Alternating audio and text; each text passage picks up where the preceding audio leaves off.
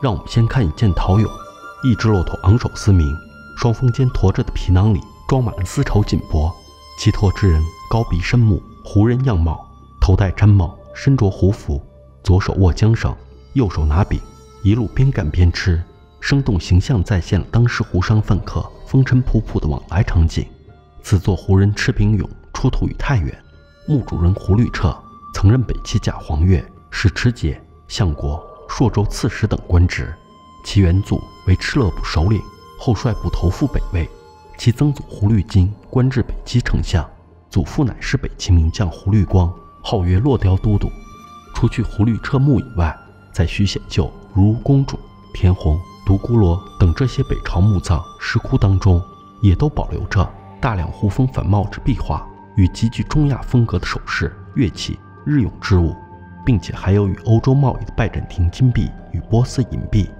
从洛阳伽蓝记有关西医来复者，自丛林以西至于大秦，百国千城莫不欢赴。胡商饭客日奔塞下字里行间，与续高僧传对天主僧人胡商经柔然远投其境，见于经业文宣皇帝极简书里等这些文献的描述中，都无不展示了当时北朝商务繁忙、交通往来的文物盛况。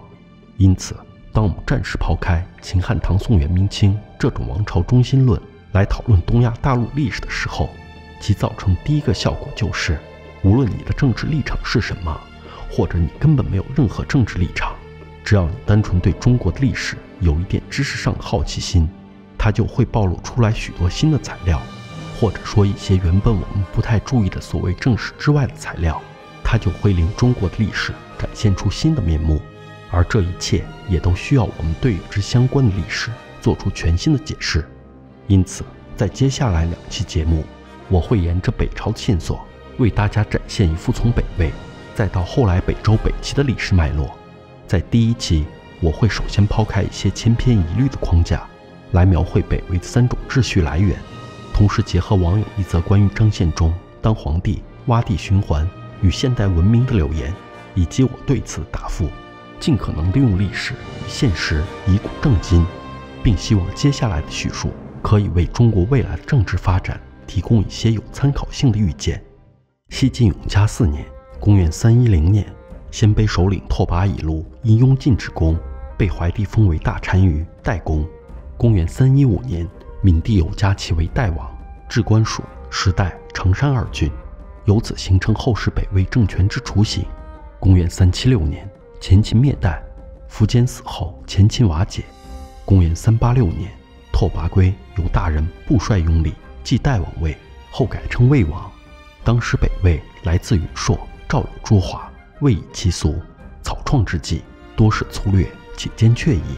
因此，境内人口大部分依旧保持着原本以部落为单位聚集的生活方式，如贺兰、贺赖、布柳姑、独孤、土西、河西等这些部落。分别散居盛乐、云中、五原、朔方等地，少则几十成百，多则数千过万，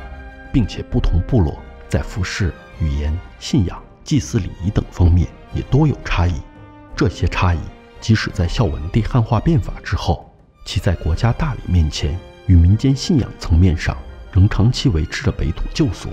公元三九六年，拓跋圭建台省，置百官，以两晋官制。开始设立各项制度，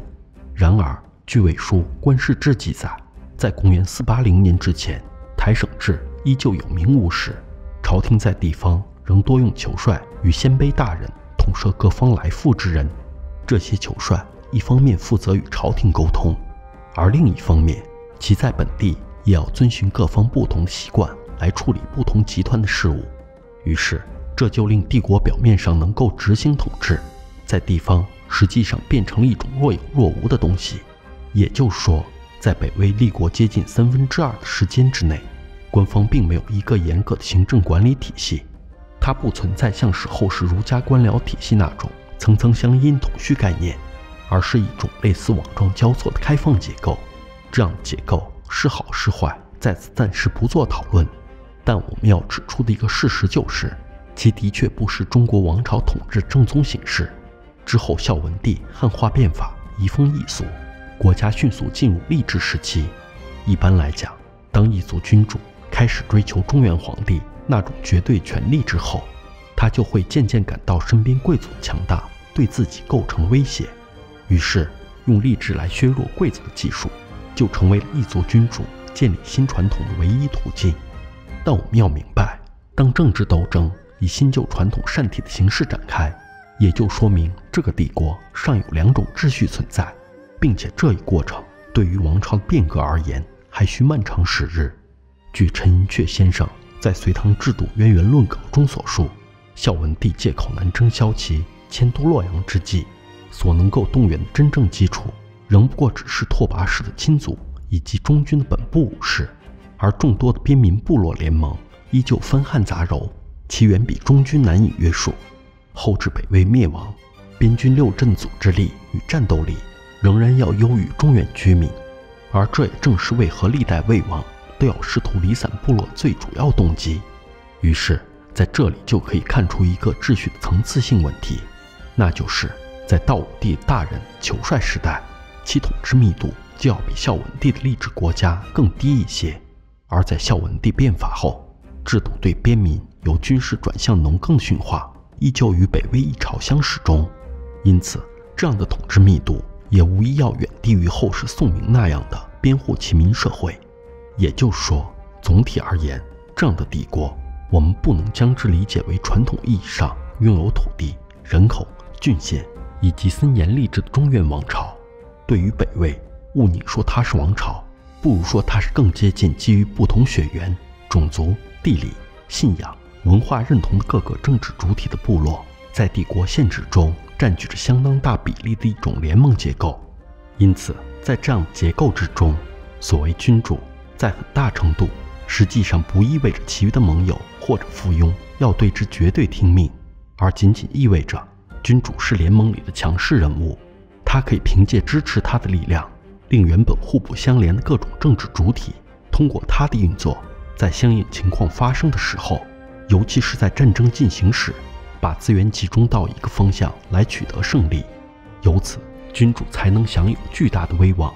这也是为什么当我们读北魏历史的时候，经常会发现一些奇怪的现象，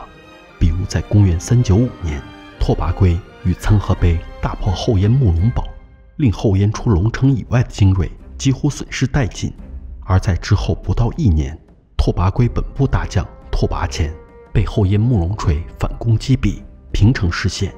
此时身处盛乐，按照中原王朝的标准，并未动摇国本魏王拓跋圭，便会顿感恐惧，甚至有远遁漠北，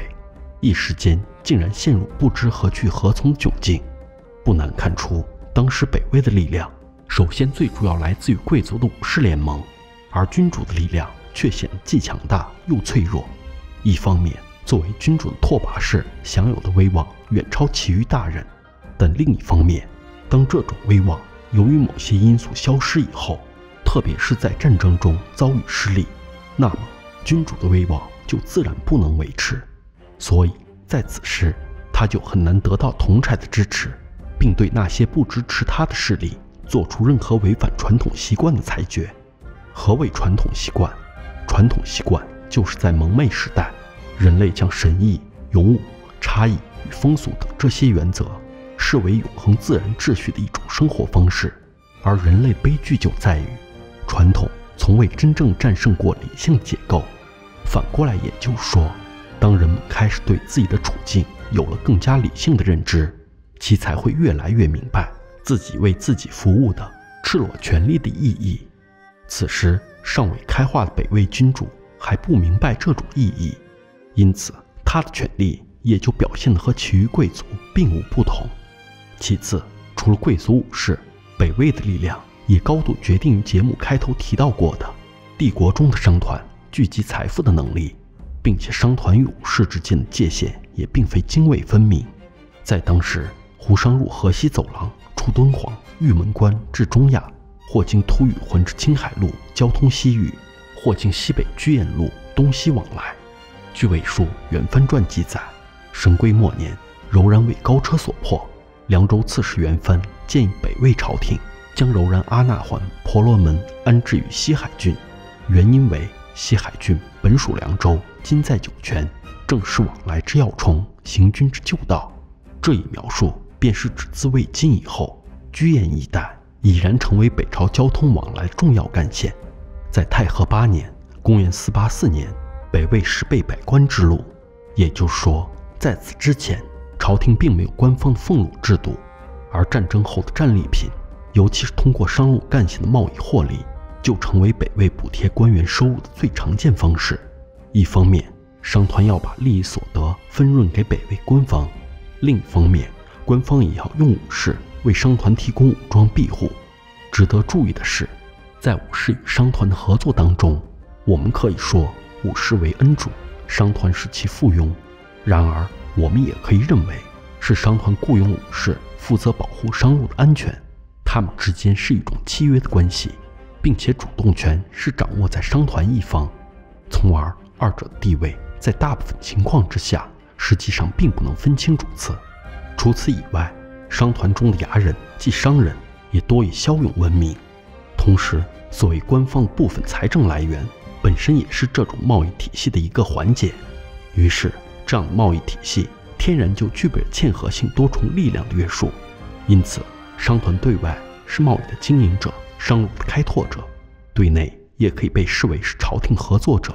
所以，他们在帝国中也始终处于优越地位。而最后一方面，北魏的力量就来自于宗教组织的活跃。拓跋氏联盟最初由漠北辽东拦入中原，其本身既多为佛教与多神拜火教信徒。关于拜火教，从八字中就可以明显看出。据陈寅恪先生考证，跋为胡语取义，为火神勇士之意。因此，比如拓跋、冯跋、贺拔。薛出古拔、李出古拔这些当时大人部帅的姓名中多掺杂“此”字，就并不足为奇。而关于当时最主要的佛教，我们仅从云冈之昙曜五窟，以道武帝到文成帝为原型这些佛造像中，也都充分展现了其在信仰上对北魏影响的无远弗届。除去君主贵族本身对信仰的虔诚，关于宗教能够在民间大量传播。其中更为重要的一个技术性原因就在于，当前秦崩溃，北方长期战乱，在旧秩序瓦解、新秩序尚未跟进之时，流民就会大量涌现。在极端时期，如果没有任何组织有能力承担安民的职能的话，那么在这些流民之中，就不可避免的会进一步产生出皇朝、李自成，而宗教团体它是无所不管的。于是，接受了本地教区救济的民众。才不会到处流窜，由此社会秩序就会逐步好转。事实上，宗教这个词汇对现代人而言，我们之所以往往将之理解成为一种神学与精神意义上的东西，这是由于宗教团体承担的社会功能在当今世界已经大不如前的缘故，所以才会形成我们现在非常熟悉的认为宗教仅仅是一个关乎个人选择的问题。而在中古时代。尤其是在社会秩序重构的时期，宗教这个词实际上还包含了强烈的社区性的概念。这种社区性就意味着教会能够有效组织民众开垦荒地、从事生产、建立新的村落，并为民众提供一整套生小、养老、送死以及救济饥荒贫弱的规范与依托。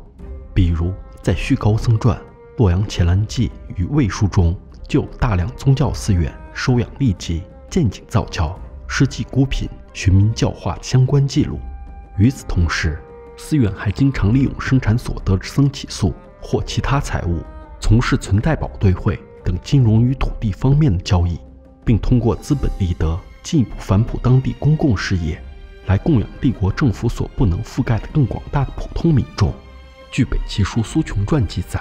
沙门资产巨富，在郡多有出息，常得郡县为征。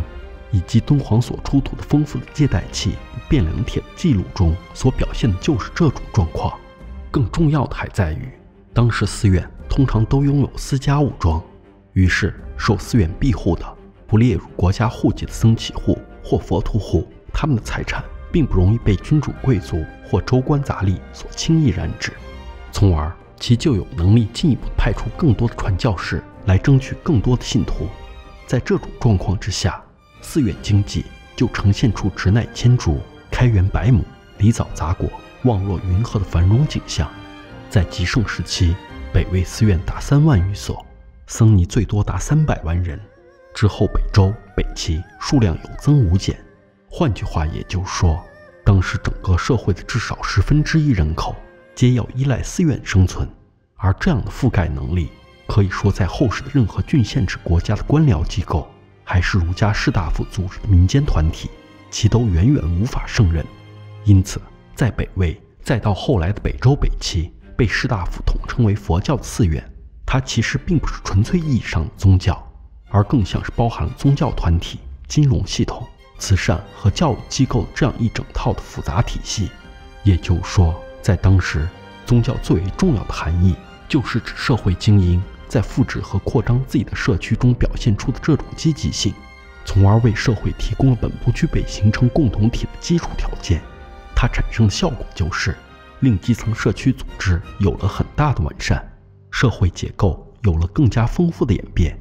由以上简单的梳理，不难看出，所谓中国的王朝政治，在不同朝代其实并不意味着都遵循着同样的统治模式。从魏晋十六国以来杂户王朝，再到之后的北朝，它实际上体现的更多的是君主、贵族、武士与商团、宗教与社会。以及他们彼此之间参差交错的一种非常多元的有机互动，而传统叙事之所以不能为我们展示这样的历史图景，这是因为他的叙事方法在绝大部分情况下都是这样的：比如什么时候的皇帝是谁，谁又当了什么官，谁是忠臣，谁是奸臣，在什么时间、什么地点，有哪些人物参与，又发生什么战役等等，这些好像整个历史的进程都相差无几。但事实上，所谓王朝政治结构之间的差距，在不同的历史时期，有时候其实非常巨大。这种不同的叙事体系与王朝结构之间的差别是好是坏，姑且不论。但北魏这段历史实际上可以给我们带来两种启示。第一种启示就是，细心的观众一定会留意到，我所描述的历史多多少少其实都是顺着某些特定的材料。按照某种特定的方向，有目的的重构。如果你一定要问什么是绝对真实的历史面貌，那么对于我个人而言，与世界主流历史文明演化路径相符的叙事体系，就是对历史真实面貌最好解释。如果你还要继续追问历史为什么需要被重构，在这里边究竟有什么道理？当然，坦率来讲，在这里边根本没有什么深刻的道理，而唯一的道理就是政治。于是，在此就引出来与之相关的网友的一则留言，那就是：请你将中国将相王后的历史文化冲进马桶。人人持枪的现代社会是不可能产生出张献忠想当皇帝这种洼地历史循环，并且劝我多学习了解西方世界的现代文明。首先，关于热兵器我已详细讲过，不再赘言。其次，关于张献忠当皇帝与洼地循环这些词汇。在我看来，本质上只不过是人类自身的欲望对现实中相应或大或小具体事物的投射而已。换言之，如果当张献忠或是当皇帝这样的投射，所要表达就是字面意思上一些人在政治中想要追求状态的话，那么我对历史进行的重构，与我之前节目给出过的所有针对中国问题解决方案，想要试图极力对抗的，恰恰就是这样的状态。最后，是否要将将相王侯历史文化冲进马桶，以及现代文明的问题，对于我个人来讲，第一就是现代文明当然非常重要，自不必多言。但是，既然将相王后的历史至今仍在延续，于是我们其实就很难用一些来自西方世界的政治语言，或是用洼地循环这种巧妙的说辞，来将中国历史文化的问题轻易的打发掉。也就是说。如果你试图用一些东西影响身边的人，甚至影响中国，那么你自己背靠着什么样的历史文化，其很大程度也就决定你未来的战场，而这个战场大概率就是中国，并且你的观众、你的支持者与你的反对者也只能来自这片土地。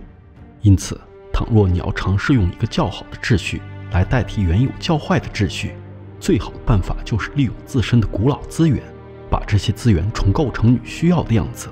只有如此，它才能对相关的民众起到最大程度的激励刺激。中国的人口虽然众多，但绝大部分人只能被算作为生物意义上的一种原料，他们没有独立的政治意志。所以，重构历史的意义就在于，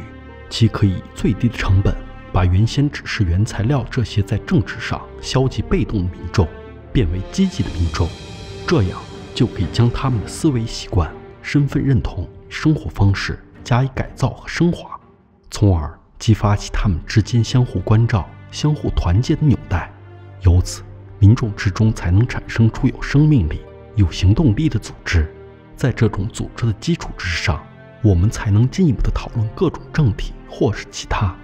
第二种启示就是：首先，秩序是有层次性的，也就是说，我们仅凭健全的常识也不难看出，即便在中国这种并不美好的历史当中，周朝就要比殷商仁慈一些。春秋就要比其他时期自由一些，